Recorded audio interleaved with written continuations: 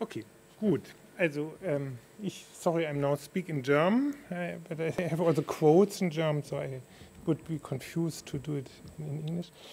Um, vielen Dank für die Einladung. Um, ich äh, habe einen etwas drastischen Titel gewählt, mit Absicht, einen etwas polemischen Titel, Tod durch Idealisierung, die Ausstellung von 68 und ihre Vorgeschichte. Ähm, ich mache, das muss man dazu sagen, ich habe jetzt nie sagen, intensiv diese Ausstellung analysiert, schon gar nicht die Ausstellung, sondern wenn dann den Katalog, weil ich die Ausstellung ja gar nicht gesehen habe und äh, mich jetzt nicht mit den Dokumenten der Ausstellung befasst habe, sondern mit dem Katalog. Und ich mache das aus einem Blickwinkel, weil ich in den letzten zwei Jahren sich sehr intensiv mit der Rezeption von Hannes Mayer in Westdeutschland befasst habe, was aber, ich glaube, ein ganz guter äh, Perspektive ist, sich dieser Sache zu nähern und dann nochmal zurückzuschauen bis 1927, 28. Ähm, und ich habe auch, so muss ich sagen, ich fange jetzt an, etwas über Marke Bauhaus zu machen, aber das ist erst in den Anfängen. Das überschneidet sich natürlich oder ist ganz komplementär dazu. Die Sachen, die ich zu Hannes Mai gemacht habe, das erscheint hoffentlich in vier Wochen in einem Buch, was ich mit Thomas Flell herausgegeben habe. Nun, also, Stuttgart 68, hier ist ja auch eine Ausstellung zu sehen, ein legendäres Foto Herr Gropius, diese Schlemmerskizze, äh, ein Kubus, eine Pyramide, der Katalog. Interessant ist, sich darüber klar zu werden, dass diese, äh, dieses Piktogramm, dieses, diese Ikone Quadrat, Dreieck, Kreis erst mit der Stuttgarter Ausstellung eigentlich als Bauhaus in je etabliert wurde. Es gab es vorher natürlich schon, also es war vor allem auch ein Thema in dem Grundkurs bei Kandinsky und auch im anderen Kontext. Es gab eine starke Orientierung an Geometrisierung, aber es wirklich sozusagen als Bildzeichen, das das Bauhaus zu repräsentieren, hat Herbert Bayer mit seiner Ausstellungsgestaltung, Plakat- und Kataloggestaltung etabliert und seitdem ist es sehr üblich. Nun ist diese, natürlich war es eine sehr große Ausstellung mit sehr vielen Objekten, die natürlich auch ein, durchaus ein vielfältiges Bild des Bauhauses entwirft. Und trotzdem ist es ein sehr spezifisches Bild des Bauhauses, eines, wie schon gesagt worden ist, aus der Gropiusschen Perspektive, obwohl es verschiedene Autoren gab dieser Ausstellung und Gropius offiziell gar kein Autor war. Ähm, und es ist eine Art der Rekonzeptionalisierung des Bauhauses äh, aus dieser Gropiusschen Perspektive, die eigentlich spätestens 1930 mit dieser Ausstellungssektion Allemand in Paris begonnen hat. Ähm, es ist nicht so ganz einfach zu fassen und natürlich ist jetzt auch meine, genauso wie ich würde sagen, diese Ausstellung ist extrem parteiisch, ist auch meine Position extrem parteiisch, das will ich gar nicht leugnen, aber ich glaube, es hilft vielleicht doch mal äh, gewisse Dinge zu destruieren, weil man muss sagen, natürlich hat es seit 68 eine enorme Forschung und auch Publikations- und Ausstellungstätigkeit zum Bauhaus gegeben.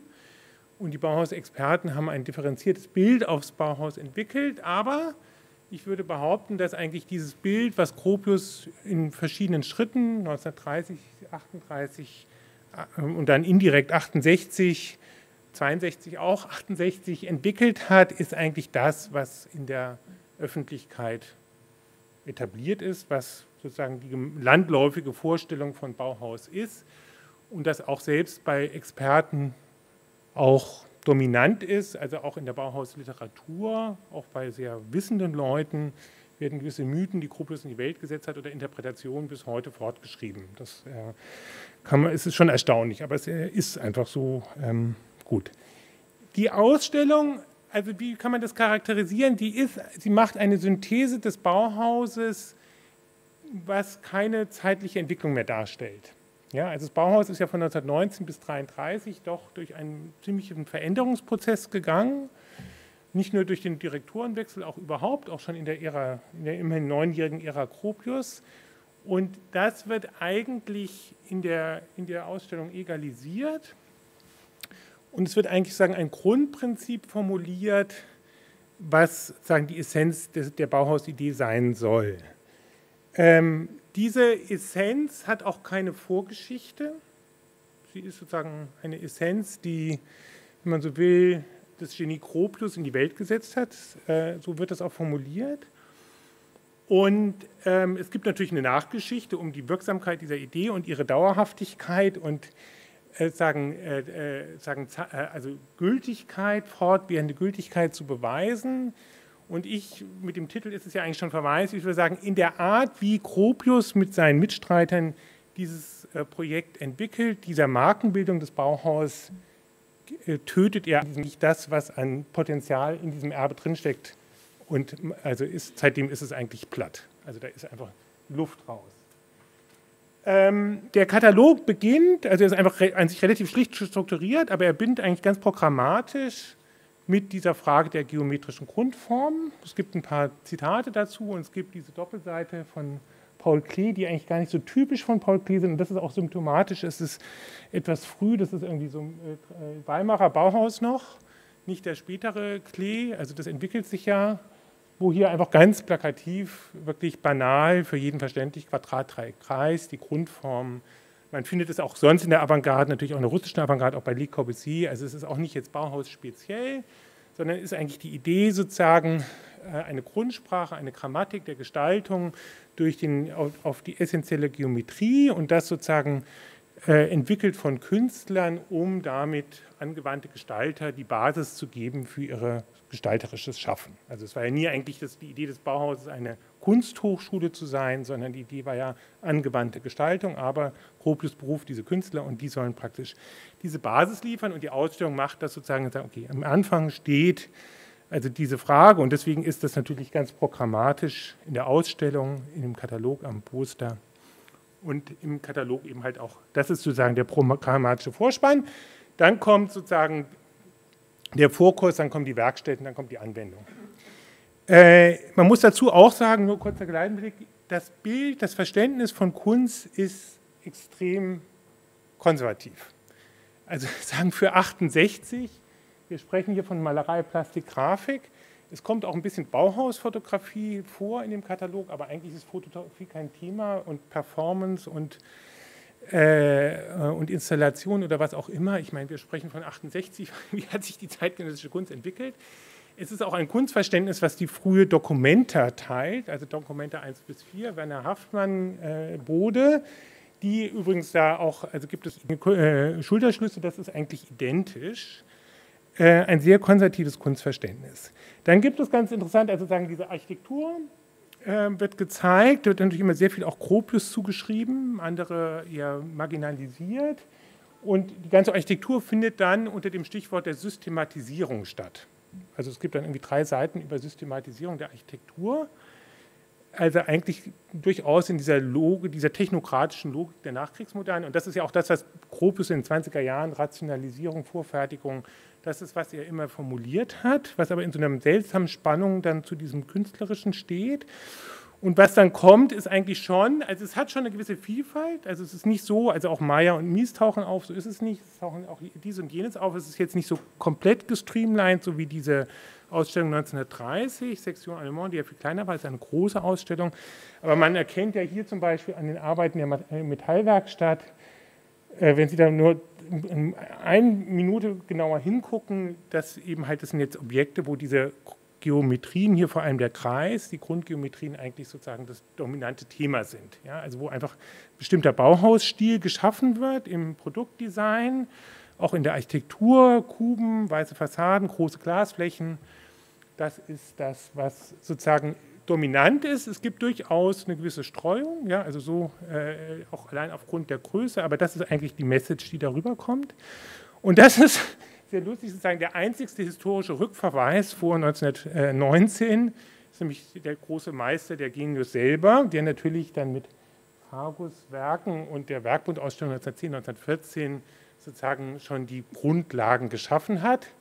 Es sei daran erinnert, dass sich Gropius bei Gründung des Bauhauses von diesem Schaffen distanziert hat. Er war ja auch dann erstmal der, also er hat gesagt, nein, nein, Farguswerke, nein. Und dann geht es ja erstmal um die gotische Bauhütte.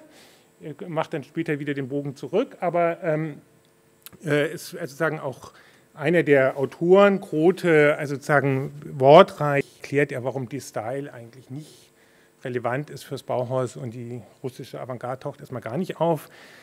Ähm, aber natürlich, das Genie hat seinen Vorlauf und dann macht es die Setzung. Und dann geht es halt, die, klar, die Nachkriegsmoderne, die Bauhausschüler, die bauen im, im, sagen, im Stil des International Style.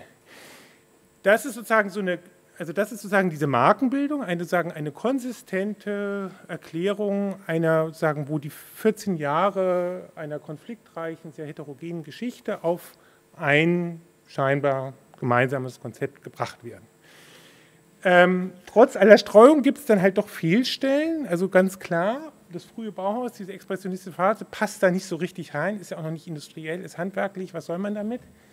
Also das sind Sachen, die jetzt fürs frühe Bauhaus wichtig sind, taucht gar nicht auf. Das Haus Sommerfeld, was Gropius selber und was, es gibt so eine kleine Abbildung unter Skulptur von so einer Tür im Innen.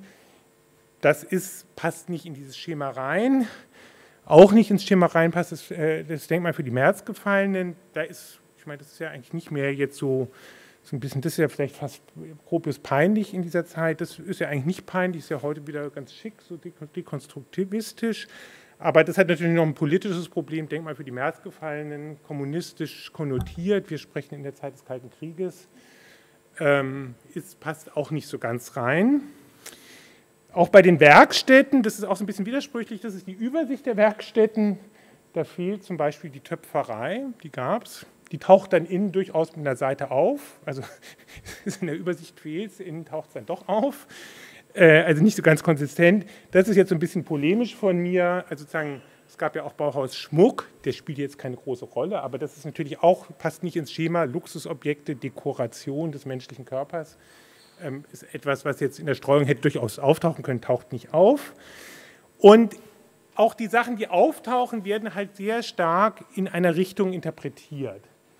Interessant ist es an diesem Diagramm, nämlich, was ist ja meine Option jetzt mit Hannes Meyer, wenn Sie sich jetzt hier das angucken äh, und wenn Sie sich dann den Mies angucken, ja, die beiden Direktoren. Und äh, die Kündigung von Meyer war im 1. August 1930, das ist jetzt grafisch mal ordentlich verkürzt, und das Bauhaus wurde geschlossen im Juni, oder? Äh, Juni 1933. Formell, aber kein im März. Ja, also sagen, hier wird mal ein knappes halbes Jahr dem lieben Meier genommen und dem Mies zugeschlagen. Dem Mies wird dann auch nochmal ein halbes Jahr nach Schließung zugeschlagen. Und so verschieben sich dann einfach optisch die Gewichte von dem, was einem gefällt und nicht gefällt. Äh, ist irgendwie, keine Ahnung. Also ist es ein Versehen, kann man sich nicht vorstellen. Ähm, ja, also das sozusagen in dieser, in dieser Frage der Ausblendung, der also auch der Verzerrung von dem, was da ist und in dieser versuche eben halt ein konsistentes Narrativ zu erzählen, was in seiner Vereinfachung natürlich auch sehr wirksam ist. Ähm, was interessant ist, wenn man jetzt sagen, diese Idee, also sozusagen, kann man sagen, ist auch plausibel, es gibt gestalterische Grundlagen, warum sollen Gestalter sich nicht mit Geometrien befassen? Ist doch erstmal eine gute Idee, der Vorkurs, also denken, also träumt man vielleicht heute auch manchmal davon, braucht doch eigentlich sowas an den Kunsthochschulen.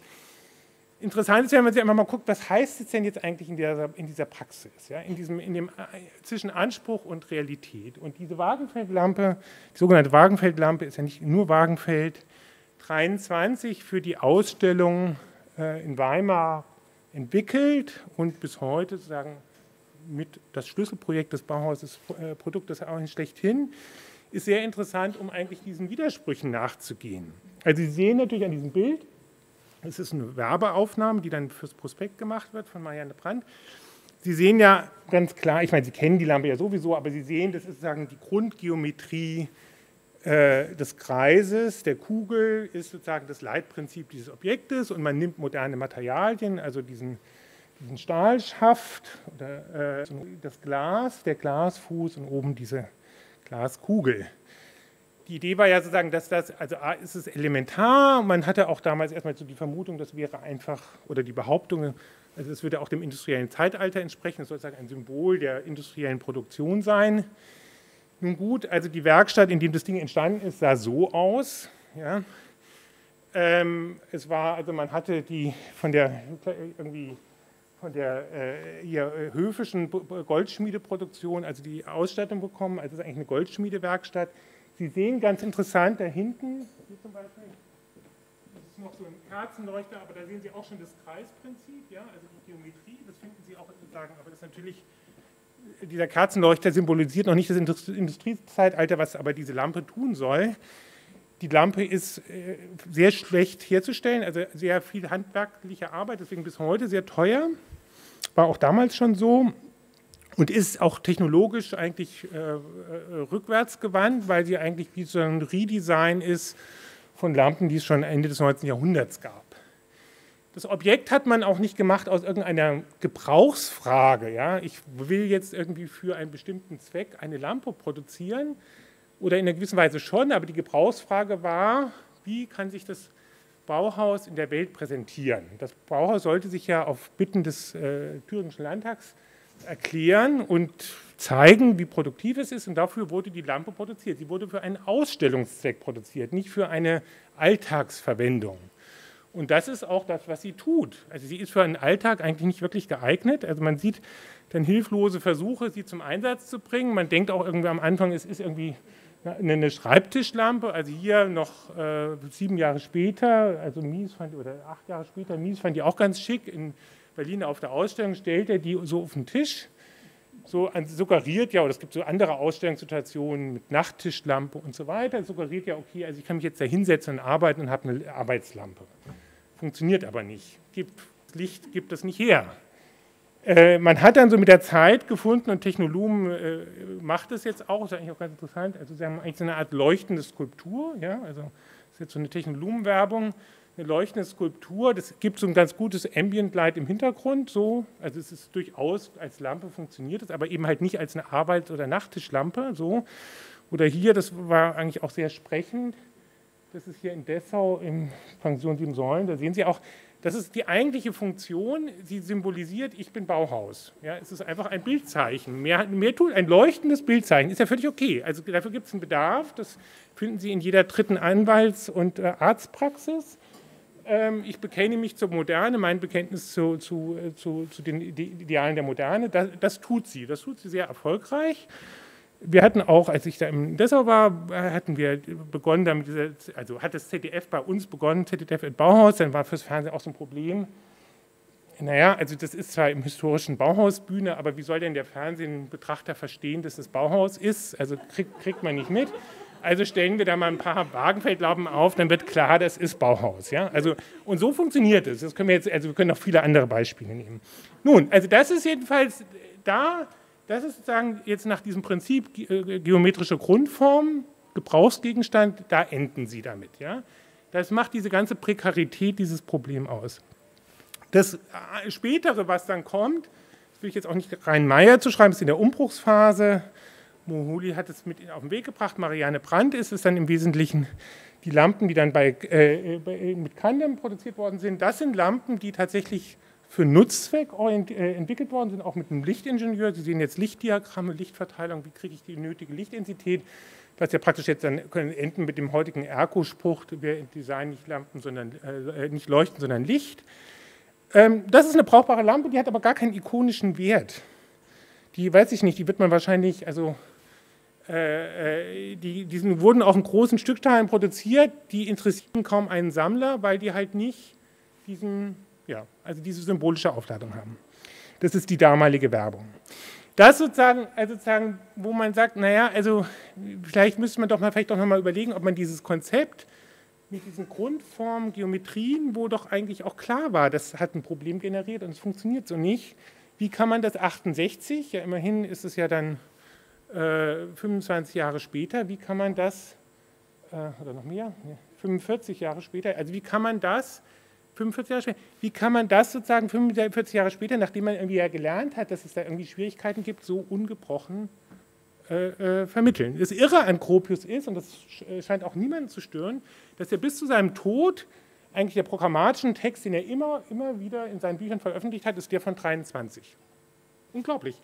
Ich meine, der hat ja auch sich selber weiterentwickelt, aber er hat einfach den gleichen Text bis zu seinem Tod wieder veröffentlicht. So, als ob ihm nichts mehr anderes einfällt. Und ähm, so ein bisschen würde ich jetzt mal unterstellen, das ist auch fast so. Ähm, gut, das ist jetzt also sagen die, die, äh, das Impressum des äh, Kataloges und Sie sehen natürlich, da sind die ganzen politischen Akteure, also ist ja auch schon, äh, das haben wir schon gesagt, dass sozusagen, das war natürlich, die Ausstellung war ein sehr politischer Akt. Die äh, Bundesrepublik West, also Westdeutschland, international zu verordnen als einen modernen, freiheitlichen, kulturierten, kultivierten und so weiter Staat. Ähm, und das hier unten sind die Akteure, ich weiß nicht, ob Sie es lesen können, Herbert Bayer, Ludwig Rote, Dieter Honisch, Hans-Maria Wingner. Und denen werde ich jetzt allen nachgehen, was es denn mit diesen auf sich hat. Aber vorher nochmal zu diesem politischen. Ähm, hier der Schirmer der Ausstellung, Herr, Herr Bundespräsident Heinrich Lübke, setzt sich auf den Vasilitsch-Herr. Und ähm, da sitzt er. Und, und ich meine, ich weiß nicht, Sie wissen ja wahrscheinlich, Herr Lübke, doch eine etwas ähm, schwierige Nazi-Vergangenheit äh, ab 1944 war er verantwortlich, sich um Zwangsarbeiter, dann um KZ-Häftlinge zu kümmern, hat dann noch irgendwie im Februar 45 im Baustab Speer an, an Ideen für den Wiederaufbau gearbeitet. Also eine nicht ganz so äh, gute Geschichte. War deswegen auch angegriffen. Die DDR hat sie an ihm gebohrt. Er hat behauptet immer, das sind gefälschte Dokumente, aber so ganz äh, gefälscht war das alles nicht. Ähm, aber das funktioniert sozusagen äh, gut, sozusagen dieses Whitewashing, wenn man so will. Ja? Also der Bundespräsident mit einer problematischen Vergangenheit setzt sich in den bei der City Chair und repräsentiert damit den demokratischen Staat. Der andere Kandidat ist, ist ja alles bekannt, ich will es nur trotzdem erinnern, Herr Filbinger, noch etwas schärfere Biografie mit der, äh, mit der Todesurteilen für äh, für äh, Deserteure im NS-Regime, vier Todesurteile, an denen er mitgewirkt hat, ist ja auch derjenige, der, wenn man jetzt mal von den inneren Konflikten absieht, auch dieses Projekt der HFG Ulm beendet. Und das passiert ja gleichzeitig. Also Herr Lübcke, der sich in diesen Stuhl setzt und Herr Filbinger, der sozusagen dem, der HFG das Gas ausmacht. Ähm, und das ist interessant, dass das ja in der 68er Ausstellung nicht mehr präsent war. Die Ulmer Geschichte, jetzt kann man natürlich sagen, die Ulmer wollten selber auch nicht mehr, aber man würde jetzt sagen, naja, wenn die wollten, hätten sie ja schon was in den Katalog nehmen können. Also das wäre ja nicht, also wenn man sagt, das ist irgendwie eine relevante Bauhausgeschichte, dann würde man das ja, also sie haben auch interessant, sie haben Black Mountain College ist auch nicht dabei, sie haben Moholi natürlich dabei und sie haben dann verschiedene einzelne Lehrer und es ist schon in der Geschichtsschreibung sehr verblüffend, dass das sozusagen ausgelassen worden ist. Also das ist irgendwie ein, ich würde mal sagen, fehlendes Interesse. Und so sieht dann halb Ulm 1972 aus. Das tote Bauhaus. Nun, zurück. Akteur Nummer 1, Herr Grote, 68. Ein wunderbares Bild, der alte Herr mit dem sagen, Weltenschlüssel ja, in der Hand spielt, also mit Quadrat, Dreieck, Kreis. Äh, was hat es mit dem auf sich? Hier Grote, Ende der 20er Jahre in Dessau mit Kandinsky. Grote war ja mit einer der Akteure, also eigentlich so der Maßgebliche, der das Bauhaus nach Dessau geholt hat, der dem Oberbürgermeister gesagt hat, das müssen wir machen. Der aber, als sagen, der war Landeskonservator und hat gleichzeitig dann Begründer der Anhaltischen Gemäldegalerie und er hatte eigentlich vor allem Interesse an dem Künstler an einem Bauhaus. Also als, ähm, und hatte, also sagen vor allem auch an den bekannten Namen, die er dann auch ausgestellt hat und hat sich, hatte kein, eigentlich keinen Sinn, würde ich jetzt mal sagen, kein Verständnis für die Frage der angewandten Gestaltung und ihrer Probleme. Herr Grote war auch der maßgebliche Akteur, der Hannes Mayer rausgeworfen hat. Das ist ein Schreiben von ihm, also ein Briefentwurf vom Mai 1930, wo er Gropius schreibt und sagt, okay, wir müssen jetzt mal herausschmeißen, der Oberbürgermeister ist einverstanden, wie sollen wir vorgehen? Und dann wird es ausgehandelt und vollzogen.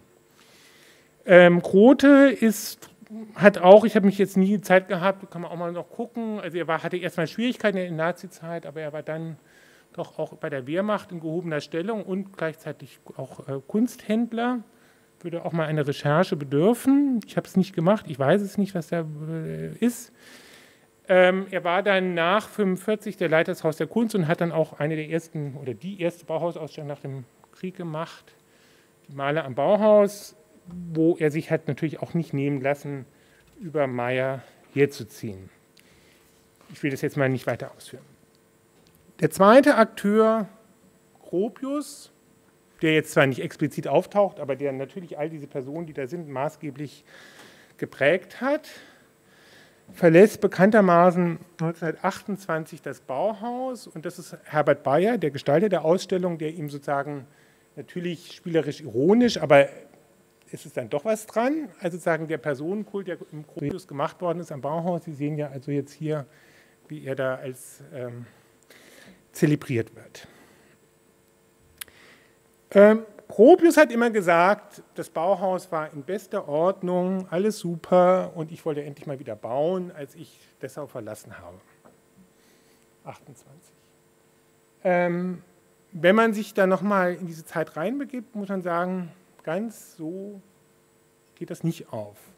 Es ist richtig, dass das Bauhaus natürlich mit der Fertigstellung der Bauhausbauten und der Öffnungsbauhausgebäude im Dezember 26 einen enormen öffentlichen Erfolg hingelegt hat. Es kam alle Welt dahin zur Eröffnungsparty. Es gab eine enorme Wahrnehmung. Es wurde diese Zeitschrift begründet, die Bauhausbücher veröffentlicht. Also es gab in der äußeren Wahrnehmung ein sehr intensives, auch geschätztes Bauhaus. Aber es gab trotzdem Probleme. Und es sind eigentlich sozusagen im Wesentlichen zwei Dinge, die hier zu nennen sind. Und zwar, die machen sich eigentlich genau wieder an diesem Konzept der Stuttgarter Ausstellung oder haben damit zu tun, weil ich würde auch sagen, dass man die Stuttgarter Ausstellung auch so lesen kann als natürlich die Behauptung Kunst und Technik eine Einheit. So, das ist schon auch, was da mitschwingt in dieser Idee dieser Geometrie und der Systematisierung der Produktion. Das ist ja das dann das Technische. Dass dieser Slogan von 23 und es ist eigentlich der Slogan, von dem Gropius nie mehr weggekommen ist. Und das Interessante ist, dass in der ersten Ausgabe der Zeitschrift Bauhaus 1926 Georg Muche, also jetzt wirklich eine wirklich äh, jetzt in den Bauhauskontroversen unverfängliche Figur, würde ich jetzt mal so sagen, einen äh, Text schreibt, Bildende Kunst und Industrieform, wo er dieses Konzept einstampft. Und er ist nun wirklich nicht der Einzige und ich glaube, das ist einfach so ein wichtiger Punkt, dass ich jetzt noch mal ein etwas längeres Zitat vorlese. Die Illusion, dass die bildende Kunst in der schöpferischen Art technischer Formgestaltung aufzugehen hätte, zerschellt in dem Augenblick, in dem sie die Grenzen der konkreten Wirklichkeit erreicht. Weil die Formgestaltung des mit technischen Mitteln erzeugten Industrieproduktes sich nach einer Gesetzmäßigkeit vollzieht, die nicht von den bildenden Künsten abgeleitet werden kann. Es zeigt sich, dass die technisch-industrielle Entwicklungsfolge auch in Bezug auf die Formgestaltung absolut eigenartig ist. Die vorausgegangene Durchdringung von bildender Kunst und Technik war ein Moment von höchster Bedeutung. Also er sagt, das war sozusagen als Übergangsphänomen relevant. Er befreite die Technik von der letzten Bindung an eine altete, veraltete Ästhetik, indem die Kunst ad absurdum geführt wurde, um nun darüber hinaus in der Unbegrenztheit der eigenen Wirklichkeit sich neu zu finden.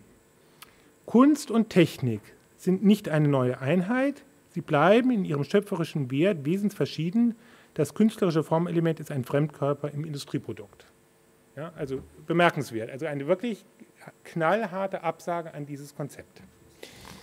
Ähm, und wenig später notiert Isokropius, also die Frau von Walter Gropius in ihrem Tagebuch, die Zeit der Maler am Bauhaus scheint wirklich vorbei zu sein. Sie sind im eigentlichen Kern der jetzigen Arbeit entfremdet und wirken fast hemmend statt fördernd. Auch sehr deutlich. Und man kann auch sagen, es gibt ein Bauhausprospekt, was Gropius mit Bayern noch herausgibt, da gibt es kein einziges Kunstwerk, was zu sehen ist nur Gebrauchsprodukte und Architektur. Das ist das Prospekt von 27, sehr interessant. Ähm, also es gibt die Feststellung, also man muss dazu sagen, was ist los? Das Bauhaus ist ja 25 nach Dessau gekommen, ist sehr ungewöhnliches Konstrukt. Eine Kommune finanziert eine Hochschule, das war damals unüblich, das war, es wäre heute unüblich, also es kostet ja vieles und die Bürger fragen, warum geht das Geld nicht woanders hin? Und es ist auch eine nicht so ganz unverständliche Frage, muss man sagen. Und, ähm, und die Idee war, es ja ein, war ein Pakt des liberalen Bürgermeisters mit der Sozialdemokratie und auch mit der Unterstützung der kommunistischen Partei. Die Idee war eigentlich sozusagen ein sozialdemokratisches Reformprojekt. Wir kennen das neue Frankfurt, wir kennen das neue Berlin, das rote Wien, also sozusagen eine Modernisierung, eine linksliberale Modernisierung dieser Industriestadt mit Hilfe des Bauhauses. Und äh, Pius, der Sozialdemokrat, hat gesagt, super, also Gropius sagt, wir bauen hier industriell billiger und, äh, und dann gibt es eine Produktion in der Hochschule, die macht, generiert eigene Einnahmen und so weiter. Also das war eigentlich so die Idee, die politische Vision, daher auch die politische Unterstützung. Und die Bauhäusler, also sie merken Kunst und Technik keine Einheit und sie haben Probleme, das irgendwie in Gang zu setzen, dieses Versprechen. Ähm, es gibt die, die Einnahmen kommen nicht so aus der Produktion. Also Gropius hat dann Finanzprobleme auch, will vom Bürgermeister mehr Geld. Er sagt, nee, da muss er irgendwie kürzen, dann sind die Meister beleidigt oder also äh, frustriert. Also es gibt einfach auch ökonomische Schwierigkeiten, aber es gibt vor allem konzeptionelle und Ise Gropius beschreibt es auch mal, sie sagt auch, also Gropius war jetzt nicht der Mensch, der irgendwie eine These entwickelt hat und dann voranmarschiert ist, sondern er hat das eigentlich eher so moderiert, das hat er sehr geschickt gemacht und auch also wirklich, also ich denke, ist ihm also wirklich Chapeau aber er hat eigentlich eher und also sozusagen, er hat eher sozusagen den Meisterrat diskutieren lassen und das irgendwie so. so. Aber sagen, dass äh, es kam irgendwie nicht zu so einer Lösung. Es gab einen Streit, der, wenn man Schlemmers Tagebücher liest, also sozusagen sich über länger als ein Jahr hinzog. Also, eine, also wirklich eine, eine, Krise, in die ja Meyer hereinberufen wird, erstmal sagen als Leiter der Architekturabteilung, der dann sehr schnell Ideen entwickelt und auf den Tisch bringt und auf die Diskussion Einfluss nimmt. Und ähm, das andere ist sozusagen, also das eine ist sozusagen, dass dieser Produktionsbetrieb nicht so funktioniert. Das andere ist aber sehr interessant, ist sozusagen die Siedlung Törten, die ja sozusagen als das Paradebeispiel der industriellen Produktionsweise, sozusagen, der, der sozusagen, Gropius ist derjenige, der mit der industriellen Vorfertigung sozusagen in Deutschland begonnen hat, neben Ernst May, den man dann schnell auch gern vergisst. Das hat natürlich inzwischen ist es so ein bisschen zwiespältiges Erbe, aber man irgendwie architekturgeschichtlich doch bedeutend. Nun gut, Törten. Ähm, das Punkt ist, dass Törten, also es ist komisch, dass irgendwie keiner das zur Kenntnis nimmt, Körpen war ein Problemfall, Körpen war eine Krise. Und der Punkt ist der, dass eigentlich Gropius, muss man ganz hart sagen, das gar nicht so aufgezogen Also er hatte, glaube ich, letztendlich gar kein Interesse, dass unbedingt das billig wird. Er hatte ein Interesse, sich als der Wohnfort zu etablieren, also derjenige, der die, den Fordismus im Wohnungsbau in Deutschland einführt. Das war sein Ziel. Und er hat, bevor er überhaupt den Bauauftrag fix hatte, hat er schon eine Verabredung gehabt, um einen Film darüber drehen zu lassen. Und man kann sagen, etwas überspitzt sagen, das ganze, die ganze Baustelle war eigentlich ein Filmset, um diesen Film zu drehen, mit dem sich Gropius sozusagen inszenieren konnte als der, der, Wohn, äh, der Fordist des Wohnungsbaus. Äh, Im realen Geschehen ist es so, dass das Ding ein Problem generierte, nämlich dass diese vorfabrizierten Häuser 10% teurer waren als konventioneller Wohnungsbau. Und das fanden die Sozialdemokraten überhaupt nicht mehr lustig. Äh, es gab eine Bürgerversammlung mit, hier ist der Aufmacher einer konservativen Zeitschrift aus Dessau, wo immerhin ins sozialdemokratische Tivoli 1000 Leute kamen und die also sagen, sich nicht nur über die äh, gestiegenen Kosten beschwerten, sondern auch über eine Reihe von funktionalen und technischen Mengen diese Gebäude hatten, die dann auch von der rechten Presse natürlich so etwas polemisiert worden sind. Also hier etwas drastische Bilder, die sind aber auch grafisch nachbearbeitet.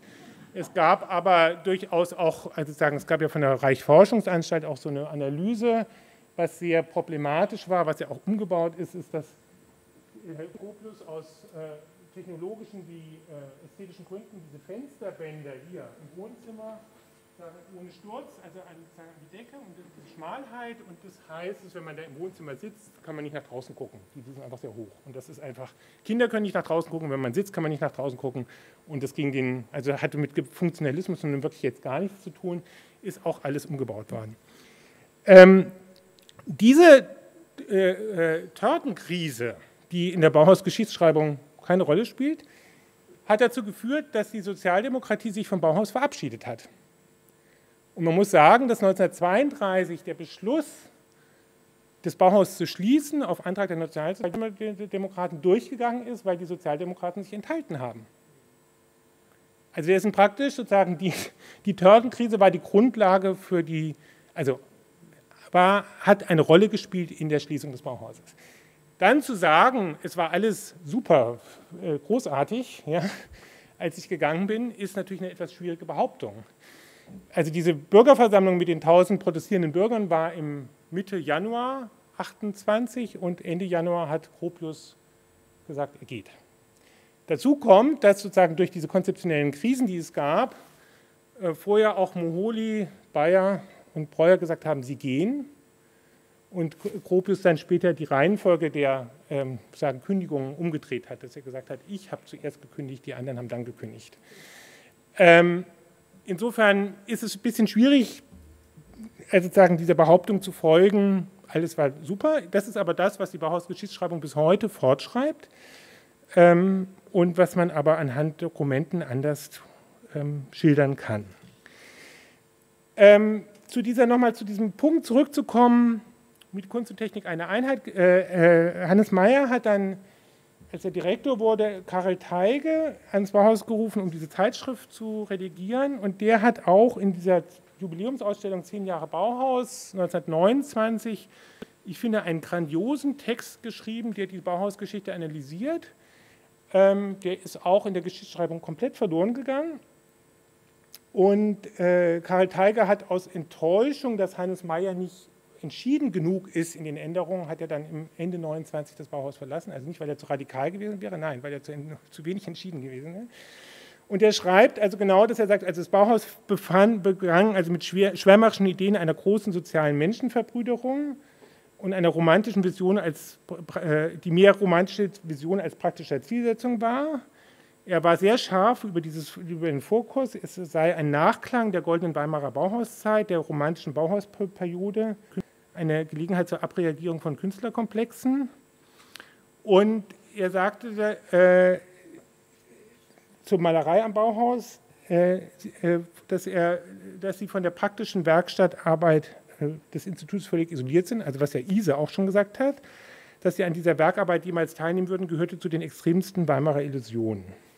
Deswegen war er dafür, das zu trennen. Er war nicht gegen die Kunst, er war auch ein Kunstkritiker, muss man dazu sagen. Also er kommt eigentlich, also ist jetzt kein, keiner, der außer Angewandt, aber wir sagen, er war da sehr scharf. Man kann jetzt sagen, muss man auch nicht teilen, aber sozusagen, das ist die Gegenposition, die irgendwie komplett verloren gegangen ist. Ja? Also das ist ja so verblüffend. Man kann sagen, es gibt jetzt, was, was, ist jetzt hier die richtige Geschichtsschreibung? Das ist schwierig, aber zu sagen, man muss ja vielleicht erstmal zugegen, zur Kenntnis nehmen, zu dieser These Kunst und Technik eine Heise gibt es eine ganze Reihe von Leuten. Muche, übrigens auch Feininger, der hat schon 23 gesagt, was ein Quatsch. Äh, äh, Kalhai, Meyer, die sagen, das funktioniert nicht, tut mir leid. Und die Ulmer ja dann auch. Gut.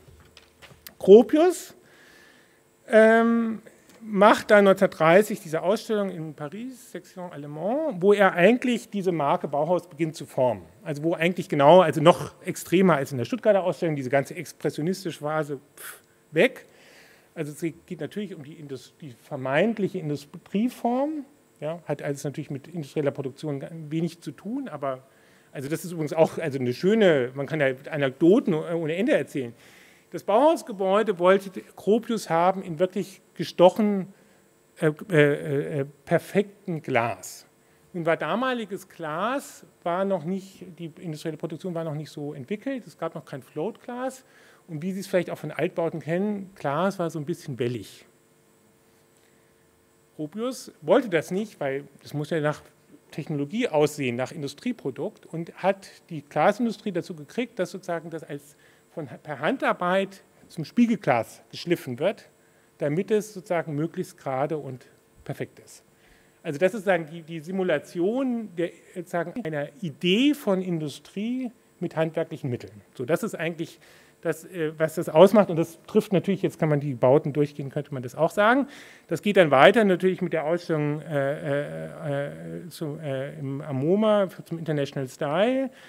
Ähm, und dann auch die Bauhausausstellung ähm, später, die Gropius äh, veranstaltet hat. Das ist schon, da muss man vielleicht auch nochmal sagen, also sagen, das ist natürlich, Sie haben das ja schon gesagt, die reduziert die, die Bauhauszeit auf 19 bis 28. Das heißt dann sozusagen im Klappentext, ja, das ist auch eigentlich, da ist alles Relevante schon passiert. Äh, mehr gibt es eigentlich nicht zu sagen. Es gab noch irgendwie noch zwei andere Leute, die da hinterher kamen, ein paar Jahre, aber das Essentielle ist das eigentlich. Ähm, Gropius ist sich auch nicht zu schade, gewisse Sachen, die er aus der Maya-Periode mag, sozusagen seiner eigenen Zeit zu, äh, zuzuschreiben und deswegen auch umzudatieren. Also gibt es gibt eine ganze Reihe von Produkten, die werden einfach vordatiert. Und es ist so wie fast so wie so ein freudscher äh, Versprecher, dass er auch die, die äh, sagen die, das schlemmersche Bild, was von 32, wo zum Bauhaustreppe auch vordatiert als ob er das Gefühl hat, das Bauhaus ist schon vorher gestorben. Also das ist also sehr, äh, äh, eigentlich sehr interessant. Gut.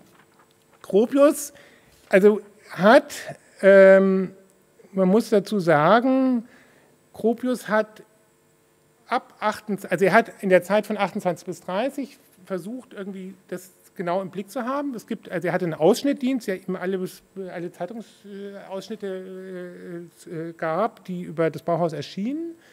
Und es gibt in seinem Nachlass auch Mitschriften von Vorträgen von Meyer, also sozusagen, die ihm also sozusagen äh, gegeben worden sind, ja, damit er also voll informiert ist, was da das geschehen ist. Ähm, er hat aber, also er war gut informiert, er hat aber über Meyer geschwiegen wie ein Grab, also äh, 30, äh, 38 am MoMA, Anfang der 40er Jahre wurde von Harvard-Studenten gebeten, er sollte doch mal zu einem, zu einem Text, den Meyer über die sowjetische Architektur geschrieben hat, vielleicht was darauf reagieren, hat er sich geweigert.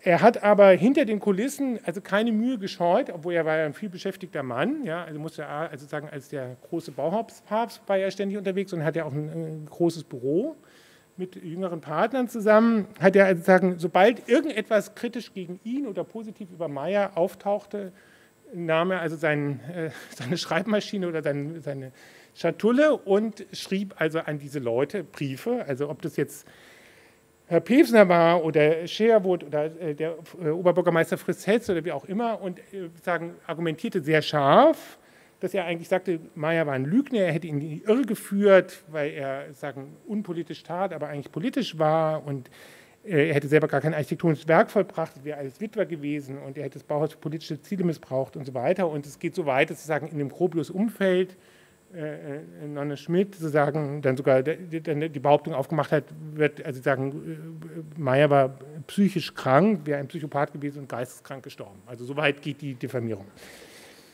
Ähm, nun gibt es Hans-Maria Wingler, der ja sagen, als gelungener Kunsthistoriker über die Tapetenfirma Rasch ähm, zum Bauhaus gekommen ist ähm, und der dann das Bauhausarchiv in Darmstadt gegründet hat und der ja einer der Co-Autoren dieser Ausstellung ist. Bei Wingler ist es interessant, er ist sozusagen eigentlich Diener zweier Herren, weil erstmal ist Rasch sein Auftraggeber. Rasch hat die Tapetenproduktion mit Hannes Meyer angefangen und Rasch hat gesagt, ich mische mich in dieses ganze Buchprojekt nicht ein, aber eins ist notwendig, dass Meyer anständig dargestellt wird. Das ist das Einzige, was er verlangt. So. Einerseits Gropius, Gropius, der also sagen, eine wirklich enorme Energie entwickelt hat, sozusagen dieses Meyer-Bashing zu machen. Ähm, der aber Wingler sehr hilft, also an, an, an, Material zu kommen, Leute zu treffen und so weiter, der sozusagen sein Mentor wird, ihm auch Finanzierungen besorgt. Und in dieser Widersprüchlichkeit ist dann auch dieses, sagen, diese Bauhausbibel von 62, die, die, die Wingler publiziert hat, die bis heute sozusagen das große Standardwerk zum Bauhaus ist, wo sich sowohl Passagen der sachlichen Würdigung von Hannes Meyer finden, wie auch genau dieser Gropiusche Bashing an dem an Gropius. Ich zitiere jetzt aus diesem Bashing. Äh, er schreibt, also Wingler, es sei ein Faktum, dass, es schwärmerische Ideologie, dass Meyer schwärmerische Ideologien mit Erkenntnis und programmatischer Zielsetzung verwechselte. Meyers rigorose Ablehnung des Formalismus von Gropius und Moholy-Nagy dürften zum großen Teil des Protestes eines aus kleinbürgerlichen Verhältnissen kommenden gegen die neue kosmopolitane Umgebung gewesen sein. Dazu muss man sagen, das ist so ein, so ein Standesdünkel bei Gropius. Gropius kommt aus extrem wohlhabenden Verhältnissen, äh, Berliner Großbürgertum. Meyer kommt durchaus auch aus einer namhaften Familie, aber also nicht ganz so äh, gut gestellt. Und dieser Dünkel kommt, also es eine, das sind alles natürlich Thesen, die Gropius in die Welt gesetzt hat. Er hat jedoch nicht, also sagen, kleinbürgerliche Verhältnisse kommen, also sagen, dass er einfach überfordert war durch den Internationalismus. Es hat jedoch nicht zur Klärung und zu einer, äh, er hat jedoch nicht zur Klärung einer neuen Synthese, sondern zu einem Anwachsen anarchistischer Tendenzen geführt, zu einem Prozess fortschreitender innerer Auflösung, dem nur durch ein Wechsel der Leitung Einhalt geboten werden konnte. Ja, also sagen, die These, Meyer hat eigentlich das Bauhaus gekillt, wenn nicht der Oberbürgermeister da dazwischen gegangen wäre. Ähm, das ist also sagen beides in diesem Buch. Also es gibt die Würdigung und es gibt diese sagen totale Bashing. Was dann passiert, ist, dass Thomas Maldonado, äh, Teil des Rektoratskollegs der HFG Ulm, in der Zeitschrift Ulm 1963 eine, äh, einen Artikel schreibt, eine Art Rezension des Winglers Buch unter dem Titel Ist das Bauhaus aktuell, wo er einerseits anerkennt, dass Wingler vieles auf den Tisch gebracht hat, was bisher nicht bekannt war, aufgearbeitet hat, auch bestimmte Dinge korrigiert hat, aber dass es doch dieses Buch problematisch ist. Trotz dieser lebenswerten Bemühens um Objektivität gelingt es Wingler nicht, das Netz von zufälligen Anekdoten politischer oder persönlicher Art aufzulösen, das seit Jahren eine sachgerechte Abschätzung des Beitrages von Meyer zum Bauhaus verhindert. Dann weiter. Schade ist es, dass Wingler nicht Gebrauch gemacht hat von allen Vorteilen seiner Stellung als unabhängiger Chronist, das heißt der beneidenswerten Stellung dessen, der ein historisches Phänomen studiert, ohne Akteur oder Zuschauer dieses Phänomens gewesen zu sein. In, in manchen Fällen wird Wingler in der Tat parteiisch, ohne dafür einen als Rechtfertigung dienenden Grund zu haben. Und das bezieht sich sicherlich auf so eine Passage, wie ich sie genannt habe. Er kritisiert noch anderes, er kritisiert also sagen die mangelnde Bewertung von Albers, die, äh, die das, äh, das, das, äh, das in Abrede stellen der, der Rolle von Destay, das Auslassen der russischen Avantgarde und einige Dinge mehr. Es geht jetzt nicht nur um Hannes Mayer, was er da kritisiert und ich glaube, er hat, also sagen, ist eine relativ treffende Kritik. Gropius ist sehr aufgebracht und das ist jetzt der Punkt, wo er dieses Schweigen verlässt und nach immerhin über 20 Jahren sich öffentlich zu Meyer äußert, indem er also Maldonado schreibt, was dann auch veröffentlicht wird. Meyers, äh, ach so, äh, also äh, gut, ich, ist ein, ist ein, er schreibt zweimal. Also sozusagen, Gropius schreibt, Maldonado antwortet, Gropius schreibt nochmal und dann lässt es, äh, belässt es Maldonado. Und er schreibt, also äh, Meyer wurde in ein gemachtes Bett gelegt. Als ich ihn berief, glaubte ich, das Bauhaus relativ gesichert und seine Verbindung mit der Industrie sorgfältig eingefädelt. Also war, war nicht der Fall. Im Fazit, seine Strategie und Taktik war zu klein, er war ein radikaler Kleinbürger. Ähm, ist noch mehr, also man kann es lesen, äh, was noch so ein bisschen perfide ist, ich meine, man muss dazu sagen, es ist ein Zeitpunkt, da war Meyer schon acht Jahre tot, ja, ist, dass äh, aus Ulm heraus Claude Schneid diese äh, erste Meyer-Biografie macht und ähm, das ist bei Nickli und Nickli ist auch der Verleger, der deutsche Verleger von Gropius und Gropius bringt es fertig, dass sein Brief an Maldonado unkommentiert als Nachwort des Buches abgedruckt wird. So. Ja? Und das ist dann immerhin zehn Jahre nach dem Tod von Meyer. Ja? Also er hat eine totale Obsession, das seine Sichtweise durchzustellen. Und man muss ja dazu sagen, es gelingt ihm. Also wenn wir die Bauhaus-Geschichtsschreibung bis, ich kann es nur wiederholen, bis heute angucken, ist es ihm in großen Strecken gelungen. Jetzt ist interessant, jetzt an Ulm ist, Ulm ist ja schon in einer gewissen Weise als Bauhaus-Nachfolge zu verstehen, mit aller Vorsicht, aber ich denke, wenn es irgendwie, also gut, man kann sagen, es gab das New Bauhaus von Moholi, es gab Black Mountain College von Albers, sozusagen, als sozusagen von äh, und äh, die HFG Ulm ist so ein anderer Versuch, sozusagen, das nochmal auf den Weg zu bringen. In aller, also sie haben sich selber nie so, also sie haben das immer sich davon auch wieder distanziert, aber in der Öffentlichkeit galt die HFG als sozusagen Bauhaus-Nachfolge. Und äh, Bill hat das auch, ähm, also er ist ja selber äh, Bauhaus-Schüler unter Gropius und Meyer. Und äh, Bill hat auch Gropius hinzugezogen zur Beratung und auch dann als Eröffnungsredner für den, äh, das Gebäude HFG Ulm. Das war allerdings, das darf man nicht falsch verstehen, sicherlich auch eine Wertschätzung, aber auch natürlich ein strategischer Punkt, weil ähm, die HFG brauchte die amerikanischen Gelder und Gropius war in Amerika sehr etabliert und das war einfach sozusagen ein Politikum, äh, das er lösen musste. Genauso musste Bill bei den Befragungen durch die Amerikaner eigentlich die Verbindung oder seine Wertschätzung für Hannes Meyer verschweigen. Er sprach auch nie über Hannes Meyer in der HFG Ulm, offenbar aber in seinem Büro, weil natürlich Hannes Meyer als Marxist im Kalten Krieg, McCarthy-Ära völlig äh, also völlig unmöglich war und es, die Finanzierung, die amerikanische Finanzierung für Ulm wackelte wegen auch weil man auch den, äh, den, der Familie Scholl sozusagen zu einer starken Linksorientierung unterstellte. Also es war, also wir sprechen von McCarthy-Ära, ja, also sozusagen als verschärfter Kalter Krieg. Und Bill hatte eher so ein taktisches Verhältnis zu äh, Gropius, wie vielleicht auch umgekehrt. Und äh, bei der Eröffnung reden die eigentlich also sind, äh, äh, ist Gropius eigentlich im falschen Film. Also er redet davon wieder der Künstler, der Künstler, der also sagen die der, der industriellen Welt sozusagen das Gegengewicht, sozusagen so ein bisschen der, der, Genie des Künstlers, der sozusagen als Heroe das eben halt in eine Balance bringen soll. Und Bill redet überhaupt nicht vom Künstler, sondern er redet eigentlich von der industriellen Formgestaltung. Und das ist irgendwie, das eine passt zum anderen überhaupt nicht. Ein totales Mismatch, aber natürlich politisch ist es notwendig. In dem Buch von äh, Wingler 62 wird auch ganz klar sozusagen endet das Bauhausbuch mit Ulm, also anders als die 68er Ausstellung und wird auch durchaus recht gesagt, dass eigentlich die Orientierung der Ulmer dann stärker an Meyer ist als an Gropius. Ähm, und insofern ist dieser Konflikt über das Hannes-Meyersche Erbe und diese, diese Spannung mit Gropius ist für Ulm schon relativ relevant. Ähm, ich würde jetzt, ich meine, das ist immer die Frage auch, wie weit, also ich würde nicht sagen, dass die Ulmer sozusagen das aus dem Bauhausgedanken herausentwickelt haben, das hätte nicht funktioniert, würde ich mal denken. Aber es war sozusagen eine Begründungsfigur, sozusagen auch eine Rückversicherung.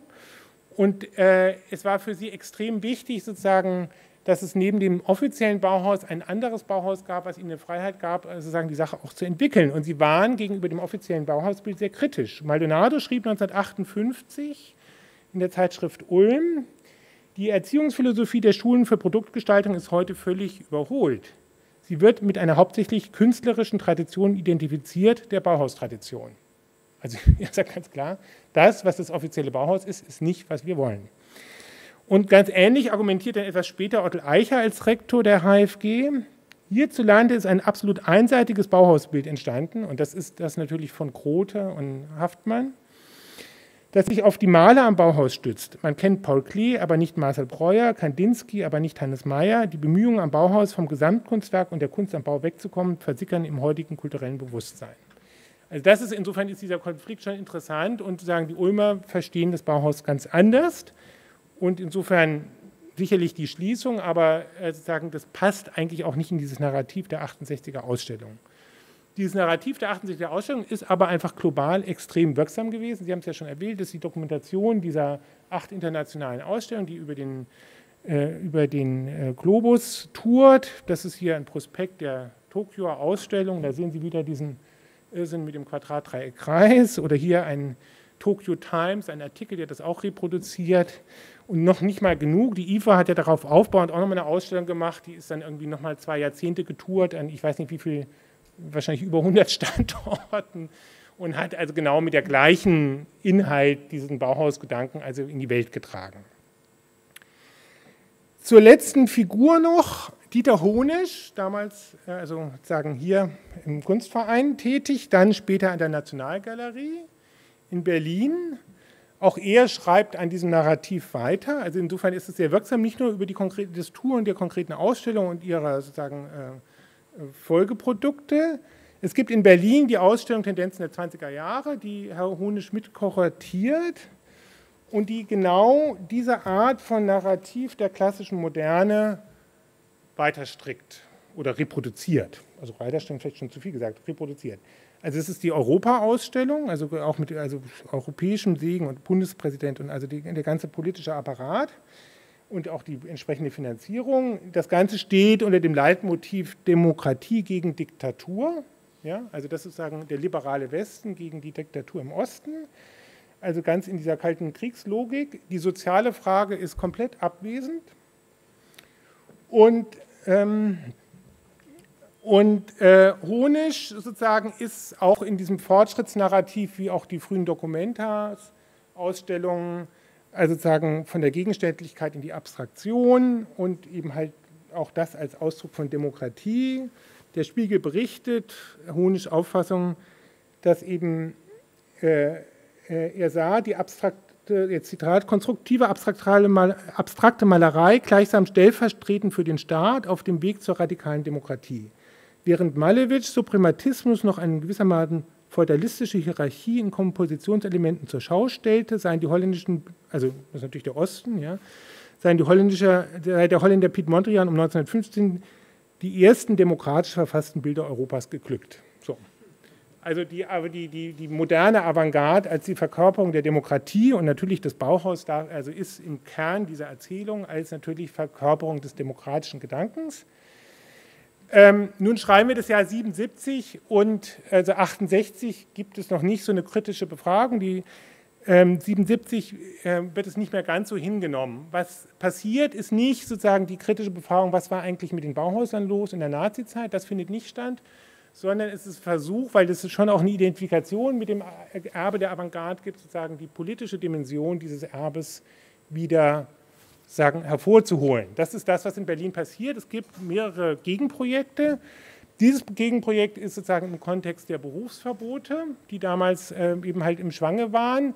Und es ist auch wirklich, also ein Aufsatz ist relativ lucide, weil die Werbung für diese Ausstellung Tendenzen der 20er Jahre nimmt eine, ich habe das jetzt das Bild leider nicht, ein Orthodox-Bild, was sozusagen natürlich, wie wir alle kennen, also sozusagen diese, äh, diese äh, extreme Problematik der, der goldenen 20er Jahre in Anführungsstrichen der, äh, in Berlin nimmt, macht einen Ausschnitt daraus, die Werbung, die sozusagen tatsächlich glorifizierend funktionieren kann und kehrt also eigentlich den, die Dixsche Bildidee in ihr Gegenteil um und bewirbt damit diese Ausstellung. Ja, also es geht natürlich darum, die tollen 20er Jahre in Berlin. Ja, nicht, natürlich nicht das, das Dixsche äh, Sicht. Das ist einer der Texte, aber es wird natürlich auch die Frage der, der, der, der Berufsverbote in der Zeit wird ähm, thematisiert mit Bezug auch dem Rauswurf von Hannes Mayer. Die Ironie ist, dass tatsächlich auch die Druckplatten beschlagnahmt werden, die Druckerei erstmal geschlossen, die Drucker ins, in den Knast kommen aus anderen Gründen. Ähm, also sagen, das äh, wird, äh, wird sehr real in, äh, in diesem Kontext. Ähm, aber auch die Ostgrenzer beschlagnahmen das Buch, als sie das irgendwie nach Hamburg ausgeliefert werden soll. Na gut. Ähm, die vielleicht noch gewichtiger Projekt ist das äh, in der NGBK, wem gehört die Welt, die eben halt versuchen, genau, genauer nochmal eine andere Geschichtsschreibung zu machen und die sagen, die äh, politischen Motivationen, auch äh, sagen weniger bekannte Namen, andere Praktiken ähm, sagen, äh, zu äh, ähm, zu, zu, erforschen und zu präsentieren, ähm, merkt man ja schon an dem Titel der, des Kataloges und hier ein Bild der Ausstellung, wo eben halt zum Beispiel jetzt die Frage der Wohnungsbaupolitik thematisiert wird und es eben halt nicht allein als eine Frage von International Style. Gut, ich muss jetzt ein bisschen, kommt zum Ende, aber ein bisschen, ich wollte eigentlich in zwei Zitate äh, von Thomas Maldonado aus Ulm, wo er eben halt genau sagt, das Interessante am Bauhaus war, dass es immer in Gegenrichtung zum, zur Gegenwart war, war, weil es auf die Zukunft ausgerichtet war. Also es war nicht affirmativ, ich glaube, es ist eine etwas übersteigerte äh, Interpretation, aber egal. Also Maldonados These ist, es gut am Bauhaus war, dass es kritisch mit der Gegenwart war und deswegen also auch widerständig. Und das ist das auch, was er äh, die, äh, in eine, eine, Ausgabe später, und das sind auch genau die Ausgaben, wo es um diesen Hannes-Meyer-Konflikt geht, die Funktion des Produktgestalters sollte nicht darin liegen, Ruhe zu bewahren, sondern Unruhe zu stiften. Er soll eben halt nicht derjenige sein, der den bestehenden Bedarf strukturiert, sondern sollte eben halt und die an den Oberflächen sozusagen designt, sondern sollte das hinterfragen und ähm, da intervenieren. Nun, das war der Anspruch von Ulm, der war sozusagen in der Weise nicht mehr gewollt. Ähm, das Bauhaus wird gefeiert, Stuttgart 68. Das Bauhaus wird gefeiert, Deutschland 2019. Und es ist natürlich extrem kompatibel. Also wir leben in, also sagen, hier ist jetzt Apple Design Store, ja. Äh, äh, man sagt ja, iPhone ist Bauhaus, ja, kann man auch begründen.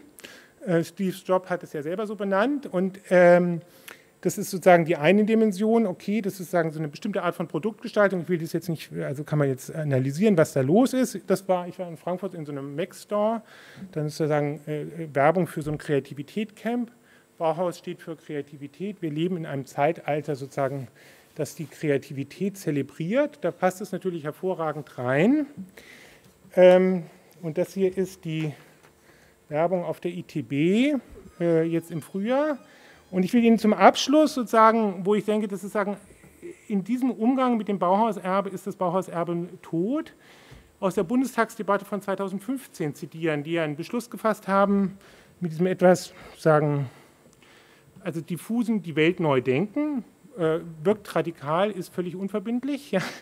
Also kann man, was, was ist das für so ein Slogan? Also was, was, was meint ihr denn, die Welt neu denken? Was soll da wie, warum neu gedacht werden? Also wo, wo soll das hinführen? Ähm, also so eine unverbindliche Radikalität und es ist sehr bemerkenswert, dass in dieser Bundestagsdebatte von der CSU bis zur Linken alle dasselbe sagen, obwohl es ja angeblich darum geht, die Welt neu zu denken und irgendwie gesellschaftlich wirksam zu sein. Dann fragt man sich ja, also sagen, was ist da los? Also ich kann nur sagen, also äh, der Ute, äh, Ute Bertram für die CDU, CSU sprach von den sozialen Zwecken des Bauhauses, die so wunderbar waren. Sigi Ehrmann von der SPD, von den zutiefst sozialen Idee, der Christian Kühn von Bündnis 90 Den Grünen, von dem humanistischen Ansatz für den Alltag und Harald Petzold von den Linken, bessere Lebensverhältnisse für alle. Also ein großer Konsens im Bundestag von links bis rechts. Gut, die AfD würde heute vielleicht etwas ausscheren, aber äh, unter diesem Motto wurde dieses Bauhausjubiläum beschlossen und so wird es auch umgesetzt. Herr de Maizière, daran erinnere ich mich noch, bei der Eröffnung 2009, der Ausstellung Martin Gropiusbau, träumte eben halt davon, dass das neu, ein neues Bauhaus man bräuchte, um die Probleme der Gegenwart zu adressieren, damals unter anderem die Finanzkrise. Ja, also sozusagen, es ist die Blackbox, in die man dann politisch und touristisch alles hinein projizieren kann. Dankeschön.